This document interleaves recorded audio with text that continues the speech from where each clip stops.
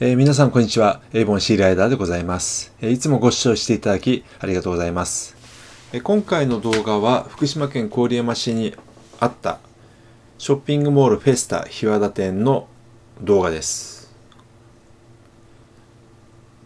あの、今回の動画につきましては、もう郡山市民の皆様のために、あの、記録動画として撮影してます。2023年の8月31日で閉店になったんですね。で、今撮影してるのはその閉店からちょうど1ヶ月後に撮影してます。で、この動画アップした時はもう、あの、解体工事が始まってますので、立ち入りはできない状態です。なので、この姿を見れるのはもうこの動画で最後と、ということになりますね。2026年3年後の2026年の9月にこの場所にイオンモールができると。相当大きいらしいです。でこのフェスタについては1996年オープンですから27年間私もこのフェスタも散々お世話になりました。あの郡山に住んでましたのでもうこのフェスタがオープンしてもすぐ買い物に行ってもその後はもう数えきれないほど行ってます。最初にこの辺りに観覧車があったんですね。今ちょうど映ってる辺り。観覧車があったんですけど途中で観覧車がなくなってしまいました。でその後にまあユニクロとかいろいろできたんですね。あの、スポーツデポと、ケーズデンキと、イエローハットとあるんですけど、おそらく、ケーズデンキとイエローハット、じゃ、ケーズデンキとスポーツデポは解体されます。もう、引っ越ししてましたから。イエローハットも解体するのかな？その先にパチンコ屋もあるんですけど、まあ、このこの外観はもう懐かしいでしょうね。今はもう見れませんから。もう足場バッチリ組まれてシートかぶってもうバラバラになってるんでしょうね。きっと。この動画がアップされてる時は。で、あの、この後映るんですけど、駐車場の端からそのイエローハットのあたりまでもし全てがイオンモールになるとしたら相当大きいのができると思います。この看板懐かしいですよねこれ。フェスタ。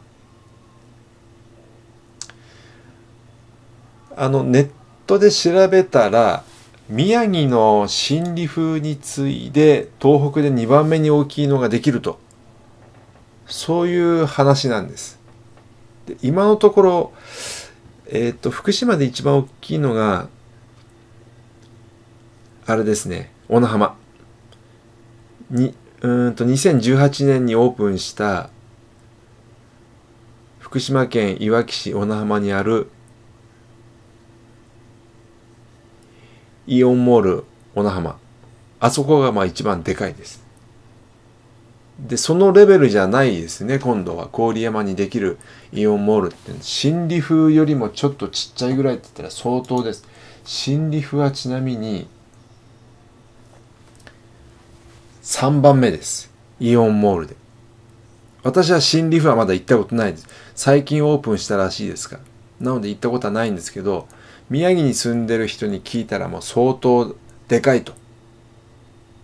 まあ言ってましたね。一番大きいのが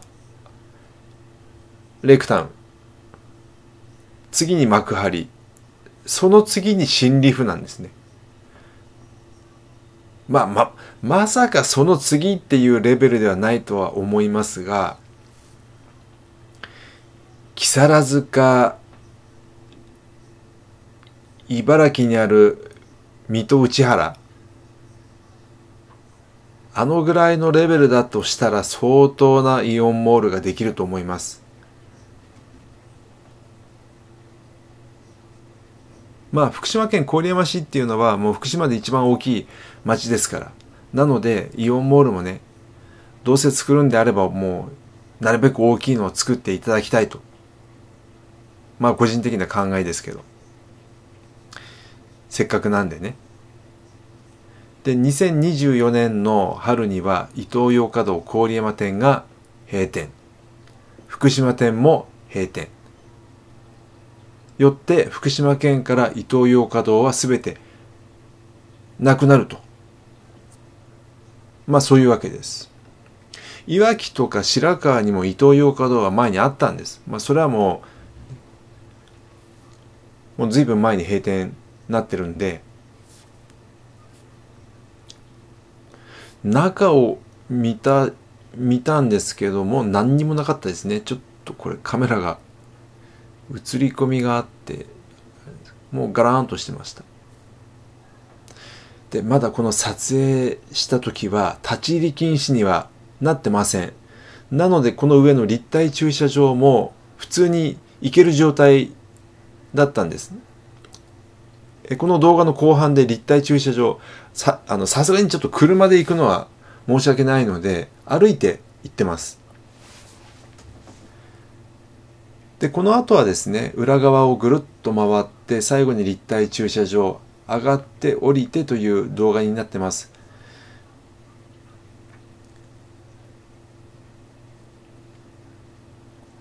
まあ、先ほど言いましたけど今回の動画はこのフェスタはこういう感じだったんだよと将来イオンモールができてまた10年後20年後その時にああ懐かしいなって思っていただきたくてフェスタの前景を撮影しました。もう郡山市民の方々に見ていただければ私はそれでも十分満足です。